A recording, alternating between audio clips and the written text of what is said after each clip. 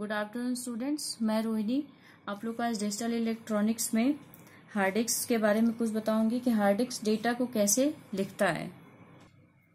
अब यहाँ पे आपके how hard disk write data hard disk आपके डेटा या इंस्ट्रक्शन को कैसे लिखता है, कैसे राइट करता है। तो इसमें सबसे पहला आपका एक पॉइंट है इसमें ट्रैक अब ये इसमें क्वेश्चन अराइज होता है कि ट्रैक क्या है इसमें? तो आपका ट्रैक क्या है कि हार्ड डिस्क में जो प्लेटर होते हैं, उसके ऊपर आपका राउंड राउंड लाइन बनी रहती है। आप ऐसे बोल सकते हो, ऐसे। ठीक है? राउंड उसमें लाइन बनी रहती है, उसी के ऊपर डेटा लिखा जाता है। उसी को हम लोग कहते हैं डेटा ट्रैक उसको हम लोग क्या कहते हैं? डेटा ट्रैक अब नेक्स्ट आपका होता है एक सेक्टर अब सेक्टर क्या है कि जो हार्ड डिस्क में जो प्लेटर होता है, ऊपर के एक ट्रैक में कई सारे पार्ट्स होते हैं।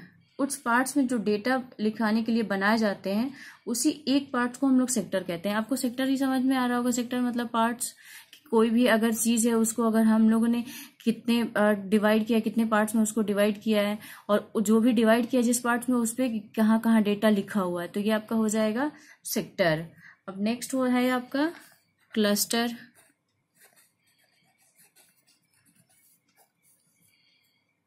अब क्लस्टर में क्या है आपका? कि ये भी आपका हार्ड डिस्क में जो प्लेटर होता है, प्लेटर में के ऊपर एक से ज़्यादा सेक्टर होते हैं। उसी एक से ज़्यादा सेक्टर को हम लोग क्लस्टर कहते हैं। ठीक है? और नेक्स्ट है आपका सिलेंडर।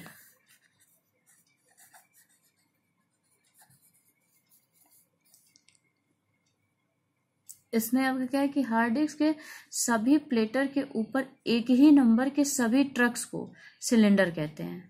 तो हार्ड डिस्क के जितने भी प्लेटर्स हैं हार्ड डिस्क में जितने प्लेटर यूज़ हो रहे हैं, उस प्लेटर के ऊपर के एक ही नंबर जो होते हैं, उस सारे नंबर के जितने भी उसमें ट्रक्स होते हैं, जो अभी मैंने बताया ट्रैक सॉरी ट्रक्स नहीं सॉरी ट्रैक जो ट्रैक होते हैं, उसी को हम लोग सिलेंडर बोलते हैं।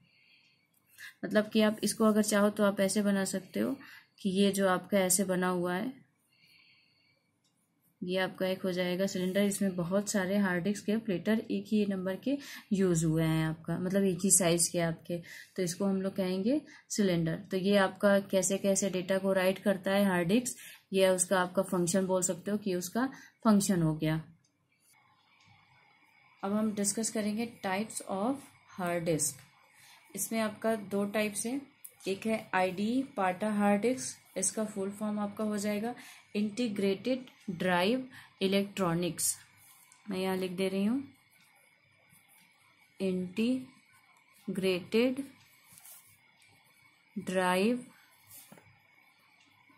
इलेक्ट्रॉनिक्स और पाटा का आपका हो जाएगा पैरलर एडवांस टेक्नोलॉजी अटैचमेंट ठीक है, अब इसको फिर से हम बोल दे रहे हैं।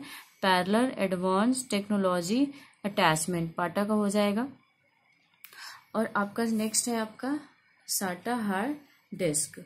तो साटा हार्ड डिस्क में आपका क्या हो जाएगा कि serial S for serial serial advance technology attachment hard disk आप पढ़ेंगे कि दोनों में के क्या डिफरेंस है आपका? तो ये तो आपका फोर्टी पिंस वाला डेटा केबल होता है। इसमें जो भी आपका डेटा केबल यूज़ होता है, वो फोर्टी पिंस होते हैं इसमें। और इसमें आपका क्या है? सेवन पिंस यूज़ होते हैं इसमें। ठीक है? तो इसमें फोर्टी पिंस होते हैं, इसमें सेवन पिंस यूज़ होते हैं। तो ऑब्वियस सी बात है कि यहाँ पे जिसमें ज़्यादा पिंस यूज़ हो रहे हैं तो उसमें ज़्यादा कॉस्ट भी आएगा। तो इस वजह से इसका जो यूजेज है, इसका इस समय काफ़ी कम यूज़ होता है आईडी का या पाटा का। क्योंकि इसका एक ये भी था कि स्टोरेज इसमें स्टोरेज का जो मतलब कि लिमिटेशन होती है वो भी आ, कुछ एम था। लेकिन इसमें आपका क्या था कि इसमें स्टोरेज काफ़ी हाई था स्टोरेज की लिमिट की। इसमें हम कितने भी जीबी तक इसमें हम कोई भी डेटा स्टोर कर सकते हैं। तो जनरली आपका पाटा अब यूज़ नहीं होता है। इस समय साटा हार्ड डिस्क यूज़ होता है। अब इसमें क्या है कि साटा में भी आपके थ्री है। SATA first SATA second and last one SATA third ये आपके तीन से हैं इसमें। अब इन तीनों में आपका क्या है कि इसमें, इस तीन में इनकी जो मतलब कि डेटा डेटा बैंडविथ होती है, इसमें आपका होता है one fifty M B P S M B पर सेकेंड साटा सेकेंड में आपका होता है three hundred M B P S SATA third में आपका होता है six hundred M B P S ये आपके मतलब कि तीन हो गए। अब इसमें यह भी है कि इसमें मतलब साटा हार्ड डिस्क में जो साइज़ अवेलेबल थे, उसमें आपके बहुत सारे साइज़ इसमें अवेलेबल सिक्सटीन जी बी भी थर्टी टू जी बी भी sixty four G B one hundred twenty eight G B two hundred fifty six B G B भी इसमें अवेलेबल है फाइव हंड्रेड जी बी भी available है। इसलिए सबसे ज़्यादा यूज़ में आपका साटा होता है। धन्यवाद।